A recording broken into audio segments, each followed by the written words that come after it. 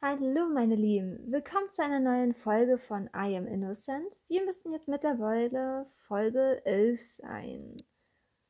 Und wir erinnern uns, ich musste hacken. Wir bekommen eine Nachricht von ID 20460. Wie ich sehe, machst du Fortschritte. Alles läuft nach Plan. Soweit ich sehe, bleibt nicht mehr viel Zeit. So, wir fragen, warst du das mit den Seilen? Oder ich hoffe, du willst niemanden verletzen. Hm, wir fragen mal, ob er das mit den Seilen war. Ja, sie es. Meinst du beim Haus deiner Freundin? Das ist eine Nachricht an dich. Und dich davon abzubringen, um dich davon abzubringen, mir nachzuspionieren. Solange du mit niemandem sprichst, mit dem du nicht sprechen sollst, wird niemandem etwas geschehen. Ich bin kein Killer. Ich habe diese Teenager nicht getötet. Aber was dieser Mann getan hat, sollte mit dem Tod bestraft werden, nicht wahr? Du weißt, dass ich recht habe. Aber das Gericht ließ ihn gehen, und er ist bereits auf der Suche nach seinem nächsten Opfer. Warum ich? Und was kommt als nächstes? Ich frage, warum ich.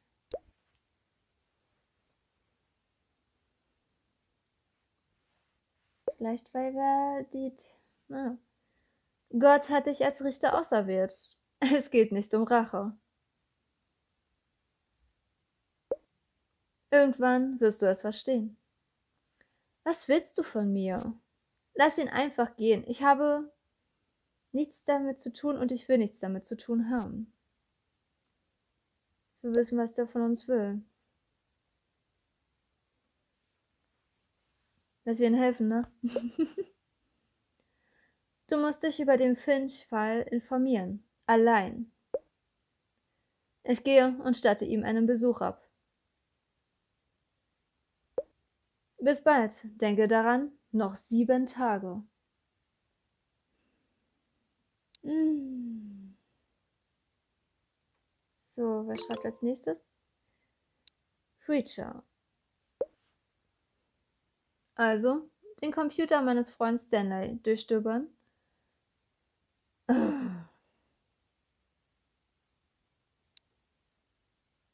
Echt, jetzt schon?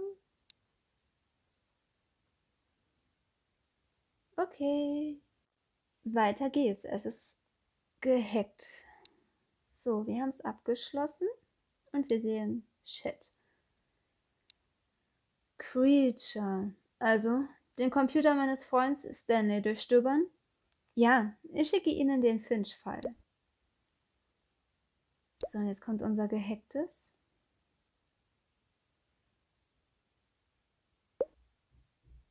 In Ordnung. Ich sehe es mir gleich an. Und Creature ist offline. Ich weiß nicht warum, aber bei dem Spiel war das jetzt auch irgendwann mit, also den, also man hat es auch an der Uhrzeit gesehen da oben, ne? Da war ich noch nicht mal fertig. Ich war tatsächlich erst jetzt gerade fertig. In Ordnung. Der wesentliche Punkt ist, dass Finch zum Zeitpunkt des Mordes an Sonja Blum mit seiner Tochter Tiana ein Telefongespräch führte. Sie hielt sich zu diesem Zeitpunkt in einer anderen Stadt auf. Hier ist ein Ausdruck von der Telefongesellschaft. Gucken wir uns doch mal an. Die Telefonnummer am 5. März, 9.30 Uhr und 5 Sekunden. Oh, 21.30 Uhr. Es ist abends. Eine Minute 20. Okay. Sonja Blums Todeszeitpunkt lag, wie Sie wissen, zwischen 21 und 23 Uhr. Wo liegt dann das Problem?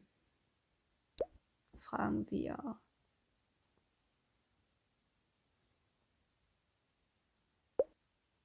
Die hier angezeigte Zeit des Anrufs ist die Ortszeit der Stadt, in der Tiana sich aufhielt. Sie war in einem anderen Land, mit vier Stunden Zeitverschiebung. Bei Finch war es zu diesem Zeitpunkt also 17 Uhr. Ah, ich verstehe.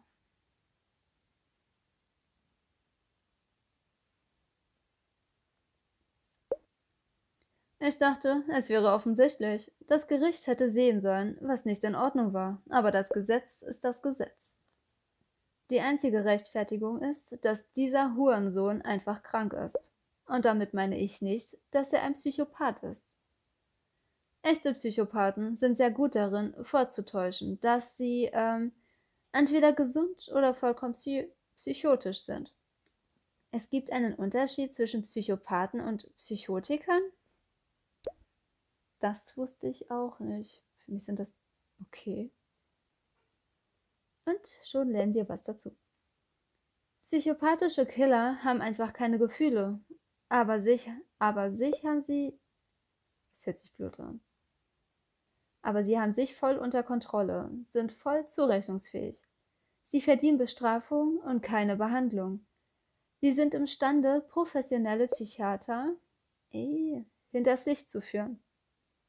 Im Jahr 1972 bestand Edmund Kempner erfolgreich eine Reihe von Tests, wurde von der, von der Ärztekommission als ungefährlich eingestuft und auch den Polizeiakten gelöscht.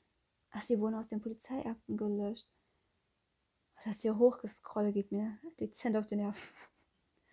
Als er zwei Jahre und acht Leichen später gefasst wurde, gestand er, am Vorabend des Treffens mit den Ärzten ein Mädchen zerstückelt zu haben. Er hatte ihren Kopf in seiner Tasche bei sich. Alter. Während er die Tests durchlief. Er sah ihn sich sogar nochmal an, bevor die Tests begannen. Doch die Ärzte bemerkten nichts Auffälliges an seinem Benehmen.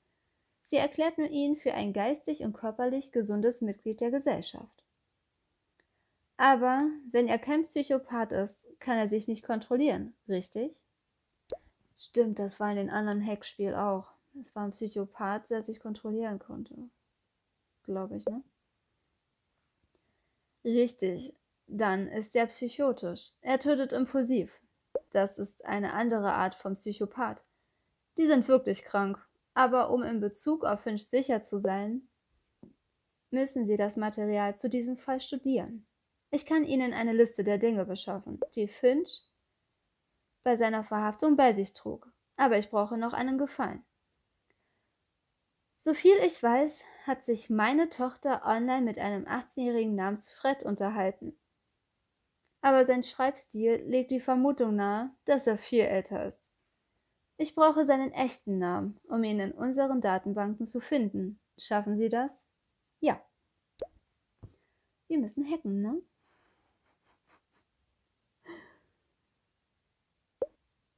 Abgemacht. Ich sammle noch immer Material über Finch. Und übrigens, die Visitenkarte des Killers beweist, dass er ein Psychopath ist. Aber vielleicht noch irgendwas Schönes? Nicht? Schade eigentlich. Neues Netzwerk verfügbar. Und die benötigten Informationen zu erhalten, musst du es zuerst hacken.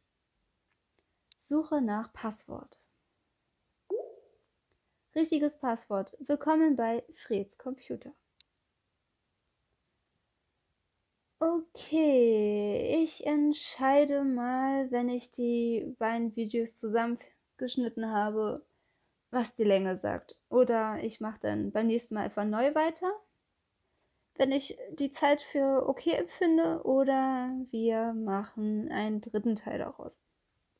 Ich werde mal gucken. Also, wenn sich jetzt nichts mehr kommt, dann bye bye. Und wenn noch was kommt, dann willkommen zurück. Ab geht's in den Chat. Ich gehe zuerst wieder zu dieser ID-Nummer. Ich habe dich ausgewählt, weil ich weiß, dass du eine Schwester hast, die verschwunden ist. Was würdest du tun, wenn das Schicksal ihres Mörders allein in deinen Händen läge? Und wenn du wüsstest, dass ihn das Gericht freisprechen könnte oder aus dem Gefängnis fliehen könnte. Ich bin nicht sicher, dass Cecile getötet wurde. Darauf werde ich nicht antworten. Mm. Ah, das ist schwierig. Ich werde darauf mal nicht antworten. Mal gucken, was er mir noch zu erzählen hat. Er hat es gelesen. Ach so, ist offline. Okay. Kann ich ja lange warten. Ah, okay. Er versucht, dich zu manipulieren. Das macht ein guter Schauspieler eben. Er ist ein Psychopath, frei von jeglichen Emotionen. Er liebt es, Spielchen zu spielen. Wie kannst du so sicher sein, dass er schuldig ist? Was, wenn er nur ein Opfer der Umstände ist? Mm, ich will wissen, warum derjenige denkt, dass er schuldig ist.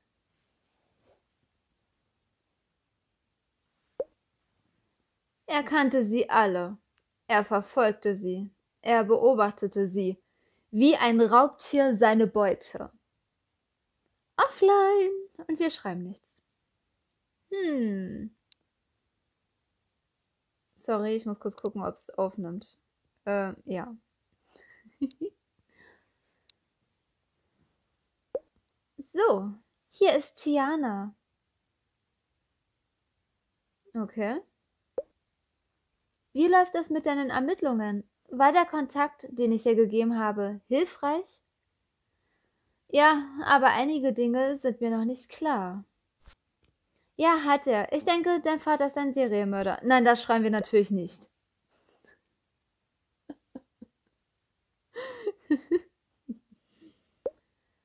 Ich hoffe, du verstehst, warum das Gericht ihn gehen ließ.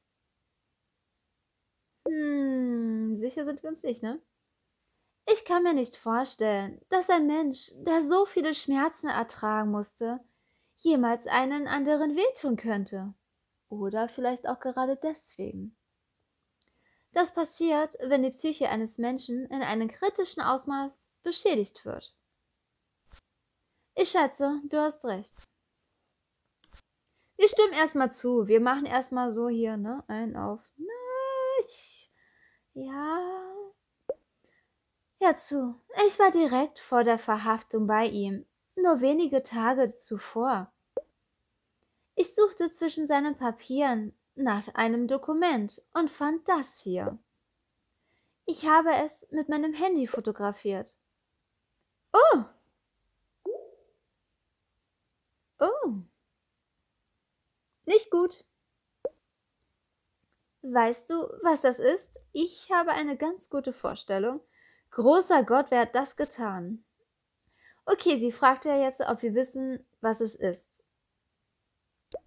Wir schreiben jetzt, ich habe eine ganz gute Vorstellung. Auf das andere gehen wir erstmal nicht ein. Das sind die Hände meines Vaters, als er zehn Jahre alt war. Was? Das Foto wurde von einem Nachbarn gemacht. Er zeigte es der Polizei, aber die meinte nur, das sei eine Familienangelegenheit. Wow und manchmal müsse man Kinder eben etwas härter anfassen. Das ist monströs, aber Finns Adoptivvater wurde also nie bestraft? Das fragen wir. Ich fand jetzt aber nicht, dass das Foto aussah wie bei einem Zehnjährigen, ne? Also nicht wirklich. Ja, natürlich. Ich erzähle dir morgen von ihm. Überleg doch mal, wie ein Mann, der das alles durchgemacht hat, jemals jemanden töten könnte. Ich werde nie glauben, dass er zu so etwas fähig wäre. Und wenn du nur einen Tropfen Menschlichkeit in dir hast, wirst du das auch nicht. Tschüss. Okay, okay, okay, okay. Tagebucheintrag. Die Zusammenfassung. Was hat sich heute ereignet? Stella fand ein Seil vor der Tür und der Entführer gab zu, selbst dahinter zu stecken. Creature erklärte, weshalb Finchs zweites Alibi nicht funktioniert. Sammle drei Sterne zum Fortsetzen.